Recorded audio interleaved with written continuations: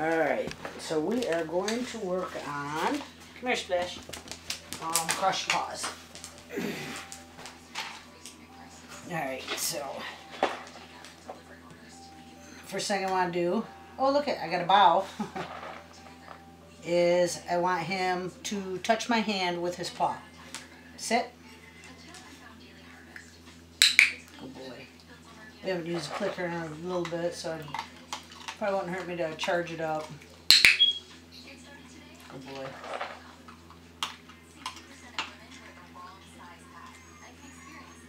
Whoops, got to click.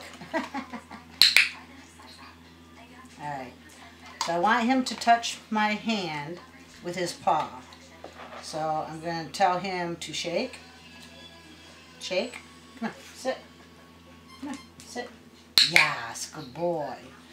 Because right now he knows shake, but he does not know paw because I teach dogs to touch me with their nose and with their paw. Yes.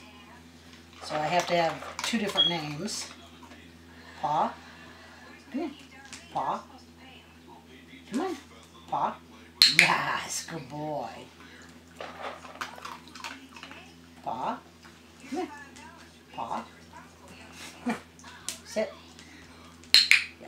Yes. Getting a little frustrated because he's not sure what I want. Paw. Shake. Yes, good boy. Good boy. Paw. Yes, good boy.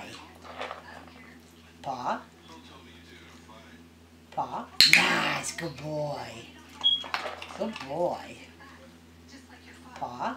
Yes, good boy. And I can see he's catching on. Paw. Paw. Yes, good boy. Good boy. Paw. Yes, good boy.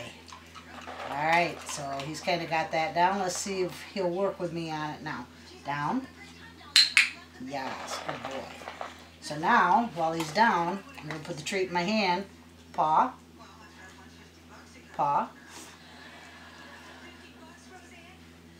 Paw.